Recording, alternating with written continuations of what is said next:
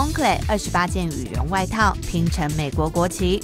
羽绒之王 Moncler 日前在纽约开设全美第一家旗舰店。为了插旗大苹果盛世，品牌邀请了设计师 Tom Brown 在店内打造新条旗装置艺术，由二十八件羽绒外套组成一面完整的美国国旗。每件外套均有编号，现在已在官网进行慈善义卖，所得将捐赠纽约扶贫组织。